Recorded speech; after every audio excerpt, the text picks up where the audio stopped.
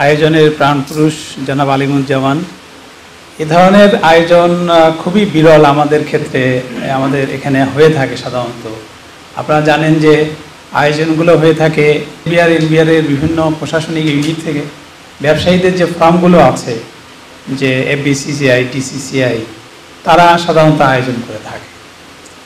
আজকের এ ধরনের একটি স্বেচ্ছামূলক, ভলেন্টারিলি অর্গানাইজড যে অনুষ্ঠান এটা আমি বলব যে একটা কথা আছে যে ঘরের খেয়ে বনের মোষ তাড়ানো তো আলিমুজ্জামান সাহেব এ ধরনের একটি উদ্যোগ নিয়েছেন। সাধুবাদ জানাই তাকে আমি।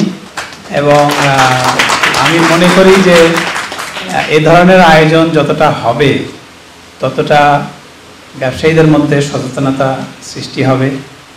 কর দিতে হবে এটা সত্য। এবং আপনারা জানেন যে মানুষের মৃত্যু আছে, যত প্রাণী আছে সবেরই মৃত্যু আছে, উদ্ভিদের মৃত্যু আছে। কিন্তু রাজস্বের কোনো মৃত্যু নাই। আপনি যেটা দায় তৈরি করে যাবেন, সেই দায় কিন্তু আপনার বংশ পরম্পরায় সেই দায়টা থেকে যাবে।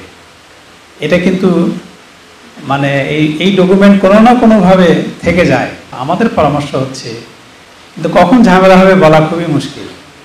ব্যবসায়ীরা ভয় পায়, কেন? ব্যবসায়ী ব্যক্তি হয়তো ভয় পায় না। কিন্তু ব্যবসার কারণে ভয় পায়। আপনি অনেক বিষয় পছন্দ করেন না, আপোষ করতে চান না। কিন্তু এই ব্যবসার দিকে যখন তাকান, যখন এই কর্মচারীদের রুটি রুজির কথা ভাবেন, তখন কিন্তু আপনাকে কিছু নিয়মকানুনের মধ্যে যেতেই হয়, কিছু আপোষ জায়গা জায়গায় করতেই হয়।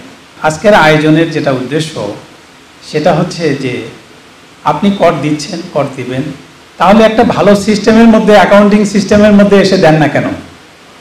আপনি হয়তো বলবেন আমি তো অত শিক্ষিত না। অথবা আমি যে স্টাফ রাখছি, সে এত ভালো বোঝে না। ভ্যাটের আইন তো খুব কঠিন।